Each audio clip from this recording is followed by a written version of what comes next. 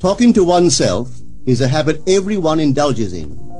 We could no more stop talking to ourselves than we could stop eating and drinking. All that we can do is control the nature and the direction of our inner conversations. Most of us are totally unaware of the fact that our inner conversations are the causes of the circumstances of our life.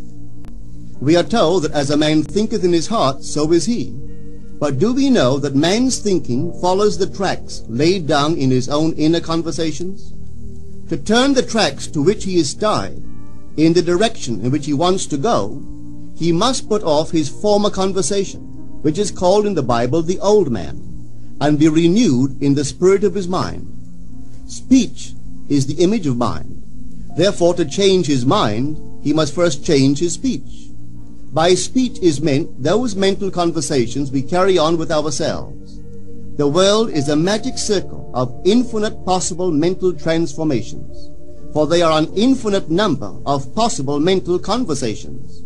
When man discovers the creative power of inner talking, he will realize his function and his mission in life. Then he can act to a purpose. Without such knowledge, he acts unconsciously. Everything is a manifestation of the mental conversations which go on in us without our being aware of them. But as civilized beings, we must become aware of them and act with a purpose. A man's mental conversations attracts his life. As long as there is no change in his inner talking, the personal history of the man remains the same. To attempt to change the world before we change our inner talking is the struggle against the very nature of things. Man can go round and round in the same circle of disappointments and misfortunes, not seeing them as caused by his own negative inner talking, but as caused by others. This may seem far-fetched, but it is a matter which lends itself to research and experiment. The formula the chemist illustrates is not more certainly provable than the formula of this science by which words are clothed in objective reality. One day a girl told me of her difficulties in working with her employer. She was convinced that he unjustly criticized and rejected her very best efforts. Upon hearing her story, I explained that if she thought him unfair, it was a sure sign that she herself was in need of a new conversation piece. There was no doubt but that she was mentally arguing with her employer, for others only echo that which we whisper to them in secret. She confessed that she argued with him mentally all day long. When she realized what she had been doing, she agreed to change her inner conversations with her employer. She imagined that he had congratulated her on her fine work, and that she, in turn, had thanked him for his praise and kindness. To her great delight, she soon discovered that her own attitude was the cause of all that befell her. The behavior of her employer reversed itself. It echoed, as it had always done, her mental conversations with him. I rarely see a person alone without wondering to what conversation piece is he tied. On what mysterious track is he walking? We must begin to take life consciously, for the solution of all problems lies just in this. The second man, the Lord from heaven in all of us, is trying to become self-conscious in the body, that he may be about his Father's business. What are his labors? To imitate his Father, to become master of the Word, master of his inner talking, that he may mold this world of ours into a likeness with the kingdom of love. The prophet said, Be ye imitators of God as dear children. How would I imitate God? Well, we are told that God calls things that are not seen as though they were seen, and the unseen become seen. This is the way the girl called forth praise and kindness from her employer. She carried on an imaginary conversation with her employer from the premise that he had praised her work, and he did. Our inner conversations represent in various ways the world we live in. Our individual worlds are self-revelations of our own inner speech. We are told that every idle word that men shall speak, they shall give account thereof. For by their words they shall be justified, and by their words they shall be condemned. We abandon ourselves to negative inner talking, yet expect to retain command of life. Our present mental conversations do not recede into the past as man believes. They advance into the future to confront us as wasted or invested words. My word, said the prophet, shall not return unto me void, but it shall accomplish that which I please, and it shall prosper in all the things whereto I sent it. How would I send my word to help a friend? I would imagine that I am hearing his voice, that he is physically present, that my hand is on him. I would then congratulate him on his good fortune, tell him that I have never seen him look better. I would listen as though I heard him. I would imagine that he is telling me he has never felt better, he has never been happier.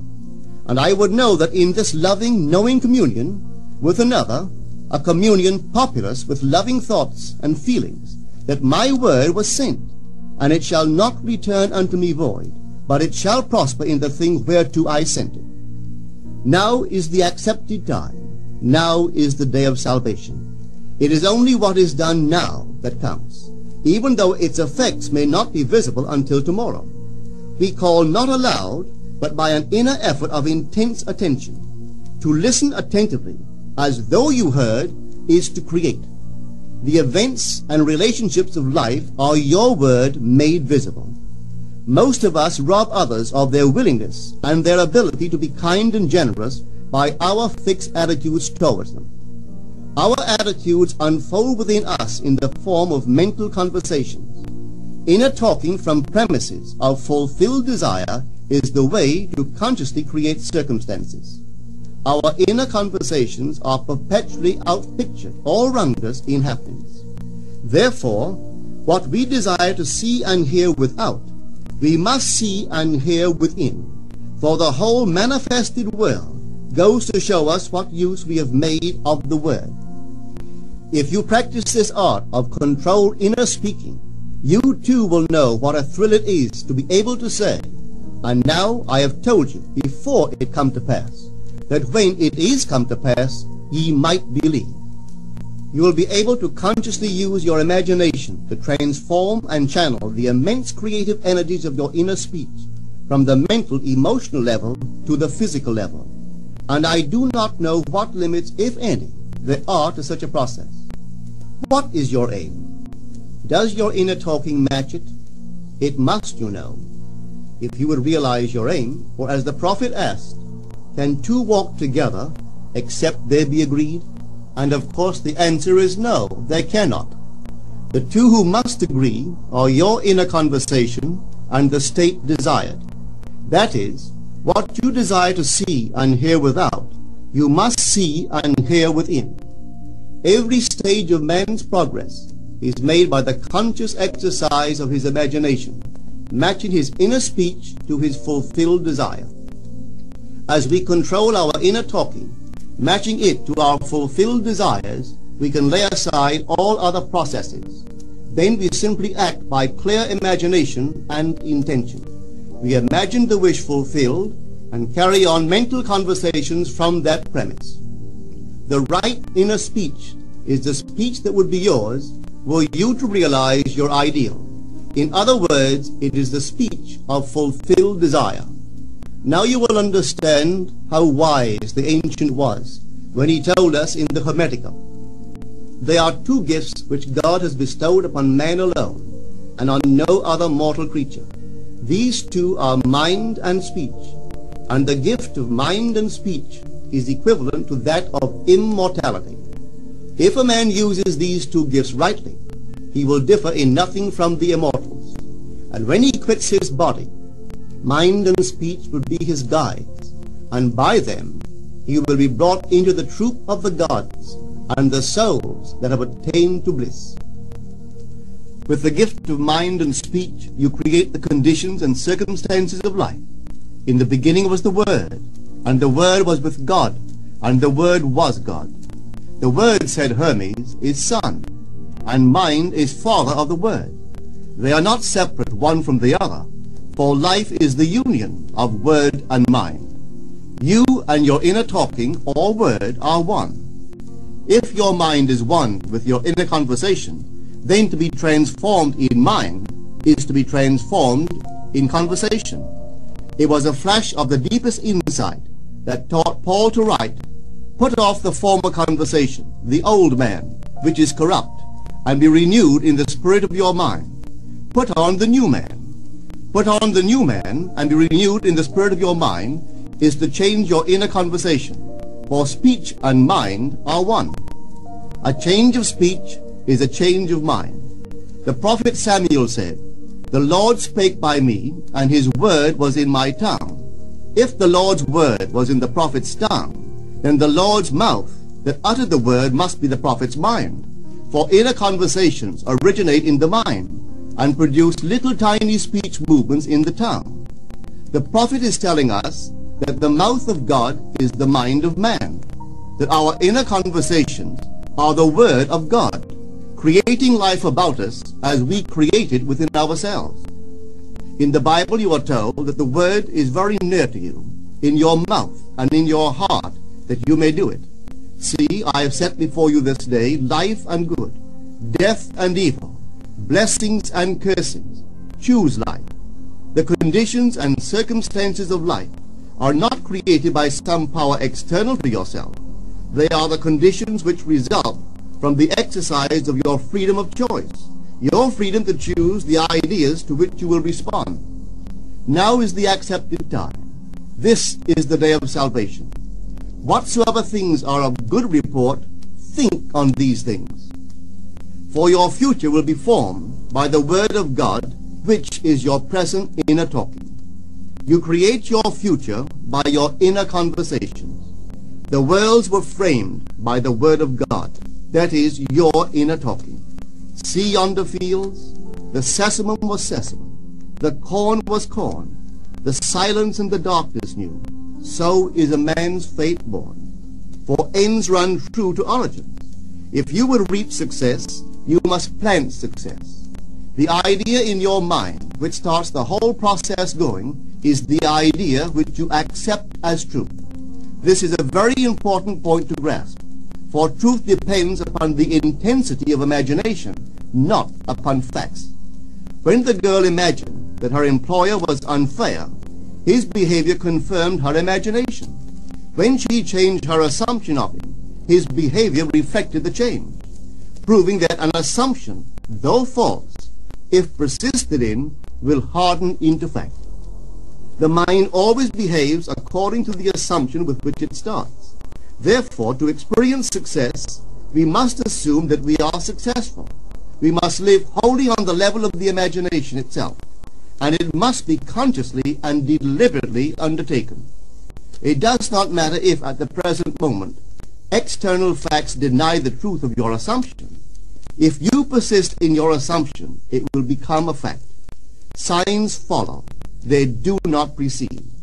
To assume a new concept of yourself is to that extent to change your inner talking or word of God, and is therefore putting on the new man. Our inner talking, though unheard by others, is more productive of future conditions than all the audible promises and threats of men. Your ideal is waiting to be incarnated, but unless you yourself offer it human parentage, it is incapable of birth. You must define the person you wish to be, and then assume the feeling of your wish fulfilled, in faith that that assumption will find expression through you. The true test of religion is in its use, but men have made it a thing to defend. It is to you that the words are spoken. Blessed is she that believed, for there shall be an accomplishment of those things which are spoken unto her from the Lord. Test it, try it. Conceive yourself to be one that you want to be, and remain faithful to that conception. For life here is only a training ground for image making. Try it and see if life will not shape itself on the model of your imagination. Everything in the world bears witness of the use or misuse of man's inner talking. Negative inner talking, particularly evil and envious inner talking, are the breeding ground of the future battlefields and penitentiaries of the world. Through habit, man has developed a secret affection for these negative inner conversations through them he justifies failure, criticizes his neighbors, gloats over the distress of others, and in general pours out his venom on all. Such misuse of the word perpetuates the violence of the world. The transformation of self requires that we meditate on a given phrase, a phrase which implies that our ideal is realized, and inwardly affirm it over and over and over again until we are inwardly affected by its implication, until we are possessed by it. Hold fast to your noble inner convictions or conversations. Nothing can take them from you but yourself. Nothing can stop them from becoming objective facts. All things are generated out of your imagination by the Word of God, which is your own inner conversation. And every imagination reaps its own words which it has inwardly spoken. The great secret of success is a controlled inner conversation from premises of fulfilled desire. The only price you pay for success is the giving up of your former conversation which belongs to the old man, the unsuccessful man. The time is ripe for many of us to take conscious charge in creating heaven on earth. To consciously and voluntarily use our imagination to inwardly hear and say only that which is in harmony with our ideal is actively bringing heaven to earth. Every time we exercise our imagination lovingly on behalf of another, we are literally mediating God to that one. Always use your imagination masterfully as a participant, not an onlooker. In using your imagination to transform energy from the mental, emotional level to the physical level, extend your senses. Look and imagine that you are seeing what you want to see, that you are hearing what you want to hear, and touching what you want to touch. Become intensely aware of doing so. Give your imaginary state all the tones and feeling of reality. Keep on doing so until you arouse within yourself the mood of accomplishment and the feeling of relief. This is the active, voluntary use of the imagination, as distinguished from the passive, involuntary acceptance of appearances. It is by this active, voluntary use of the imagination that the second man, the Lord from heaven, is awakened in man. Men call imagination a plaything, the dream faculty, but actually it is the very gateway of reality.